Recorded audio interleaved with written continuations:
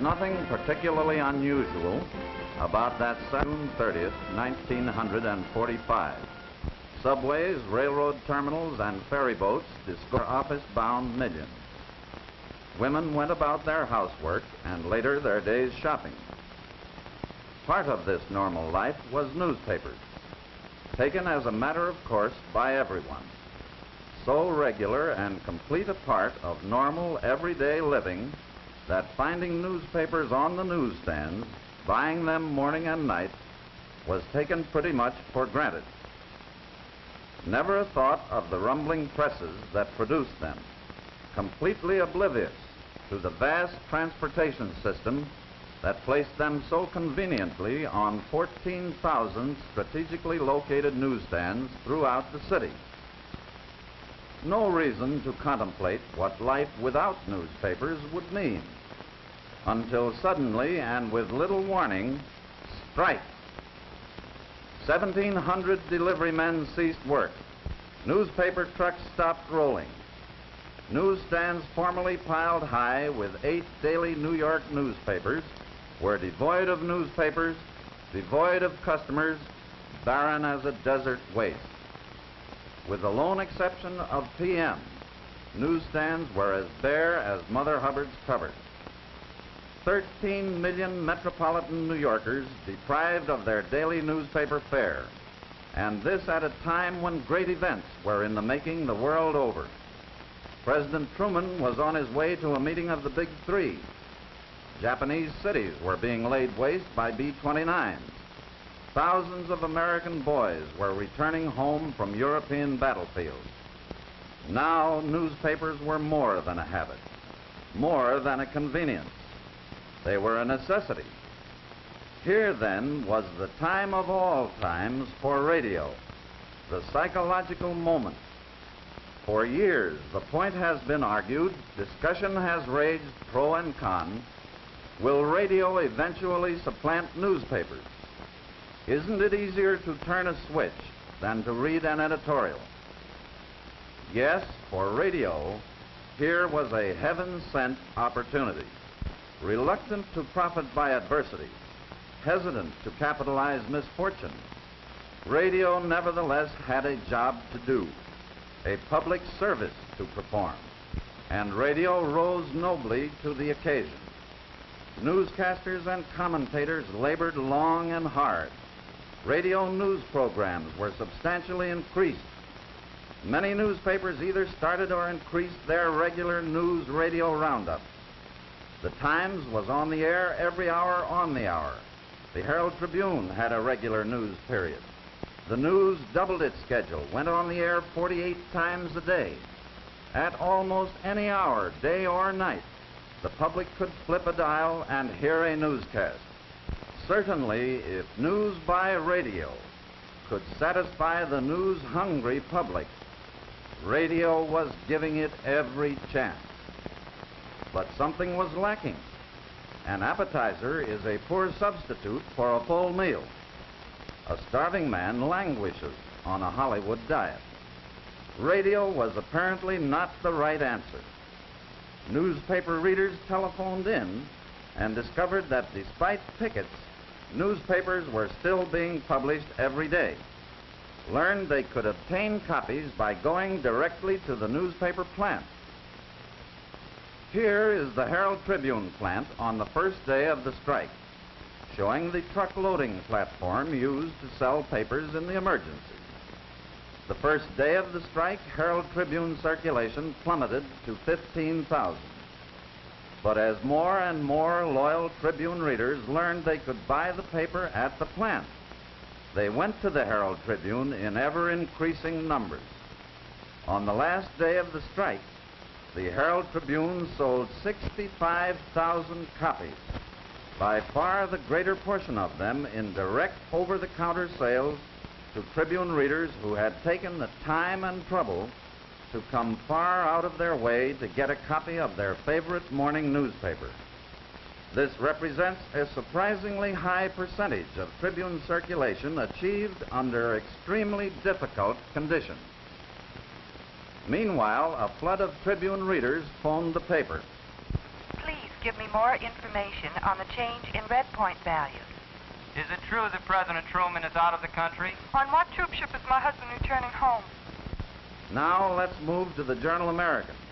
Here is a newspaper plant so disadvantageously located for the general public that the paper maintains frequent bus service for its own employees to a nearby transportation center. The sirens of East River shipping convoys provide a musical background for the roar of the presses. Despite its inaccessible location, Journal American readers travel to the plant on South Street in droves. Circulation on the first day of the strike dropped to 4,000. But by the end of the strike, daily sales figures climbed to 25,000. Mirror fans lined up at the mirror plant in mounting crescendo. Daily sales figures are unavailable, but through teeming rain and blazing heat, mirror readers made the trip to the plant, stood in line, made their purchase. The New York Sun. Here was New York's longest picket line. It is impossible to show the full effect of the Sun readership line because the paper was sold inside the building. Sun readers entered the marble lobby of the building shown in the center, made their purchase inside, and emerged through the door at the left. When sales got too heavy for the emergency office, boxes were set up in the marble foyer to serve as temporary newsstands. During rush hours, the place looked like Grand Station. Circulation climbed from a low of 23,000 on the first day of the strike to a high of 78,000 on the last day. The New York World Telegram. This plant is located downtown near the New Jersey commuting terminal. The entrance where papers were sold is situated on a narrow side street in deep shadow, untouched by the rays of the afternoon sun. This made it impossible to take color pictures. There was nothing shadowy, however, about the long lines of World Telegram readers who came from near and far. Readers made the trip to the World Telegram plant all the way from New Haven, Connecticut, from the far corner of Long Island. Lines five blocks long were a daily occurrence. Thousands filed slowly into the telegram building and emerged triumphantly with their favorite afternoon newspaper. Circulation rose from 15,000 on the first day of the strike to 50,000 on the last day. The New York Times. Because of its Times Square location and because it is a morning newspaper, the largest Times crowds during weekdays occurred at night and are not shown here. Blocks adjacent to the Times were frequently choked with readers for a couple of hours around theater closing time.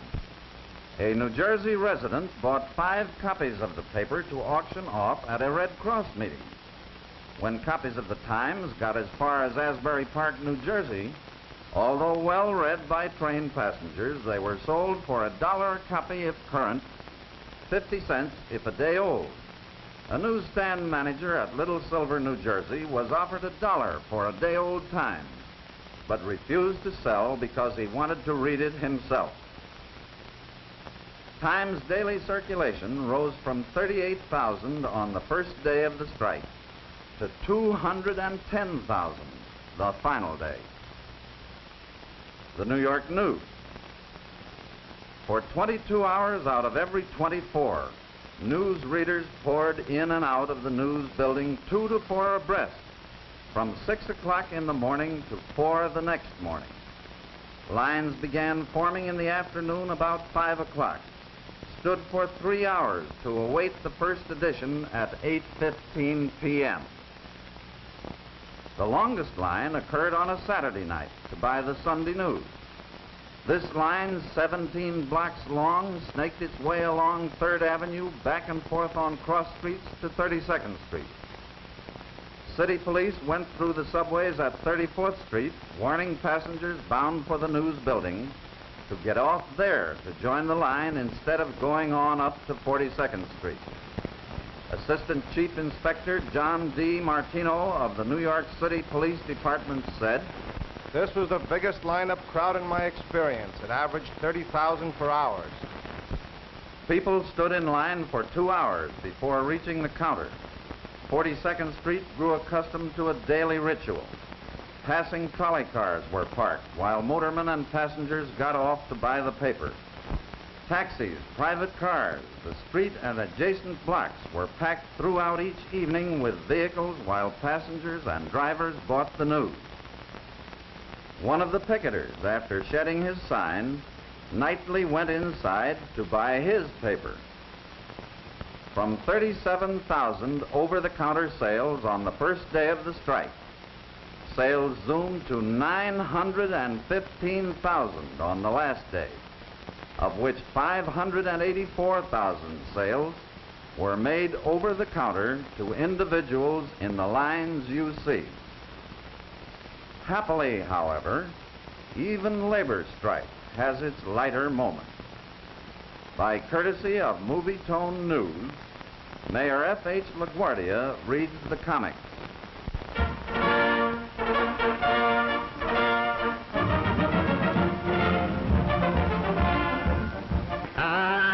Here's Dick Tracy.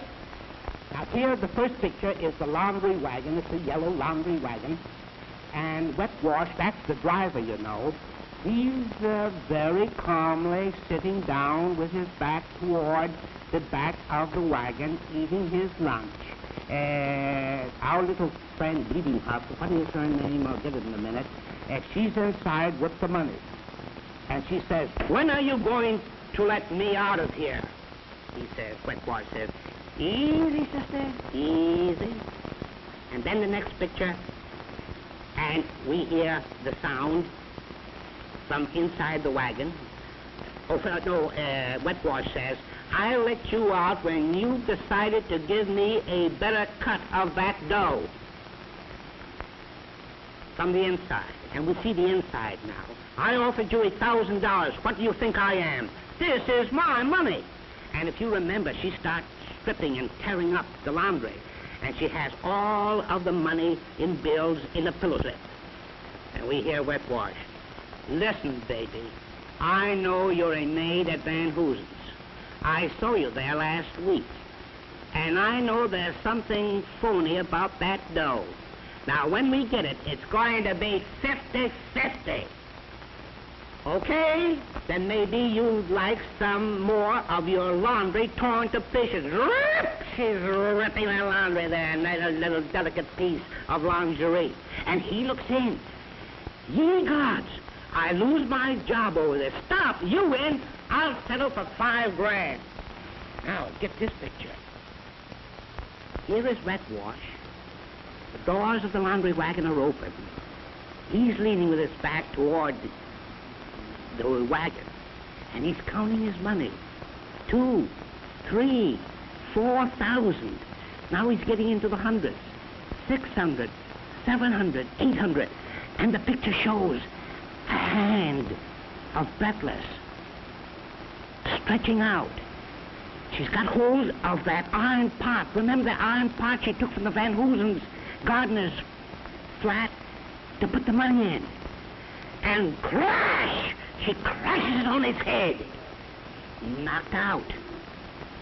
Say, children, what does it all mean? It means that dirty money never brings any luck. Thus, New York learned that if the newspapers could not go to the public, the public would come to the papers. During the 17 days of the strike, the public came to the various plants, bought a total of 10,628,000 newspapers. Trouble, inconvenience, this was the price paid each day for New York newspapers by long lines of people in rain and sun, standing for hours on hard concrete, risking bodily harm by cutting through picket lines, impervious to shouted warnings of pickets in a city heavily unionized. Men, women, and children in all walks of life, giving up a summer evening of pleasure or relaxation, going without lunch or postponing dinner for hours, coming for miles in oven warm subways to stand for long periods in halting or slow moving files. Patient, perspiring, persistent, all for a few penny purchase.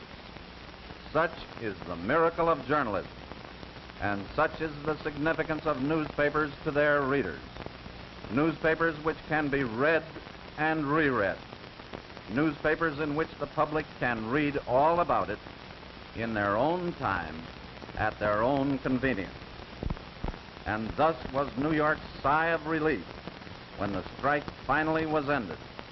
When within the hour the trucks were rolling and New York life returned to normal. Once again, dramatic proof has been given that no other medium can take the place of newspapers in the lives of the people. And the fundamental reason why newspapers are held in such high regard by the American public lies in that long cherished bulwark of liberty, freedom of the press.